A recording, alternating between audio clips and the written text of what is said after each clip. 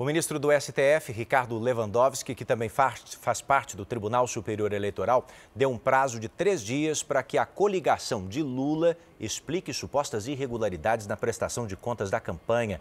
Bom dia para você, Vanessa Lima. Quais seriam essas despesas, hein?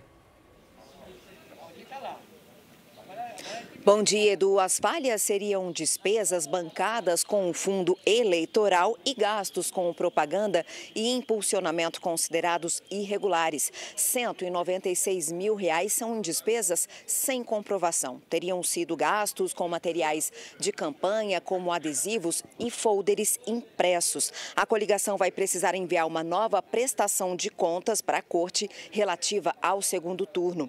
No primeiro turno, o tribunal já havia apontado observações sobre o dinheiro arrecadado, incluindo doações aí de mais de 650 mil reais pelo mesmo empresário que emprestou, que deu carona em um avião particular para que Lula participasse da COP27 no Egito. A chapa de Lula e Alckmin informou que vai prestar os esclarecimentos no prazo estipulado pelo ministro Lewandowski. Edu, Patrícia.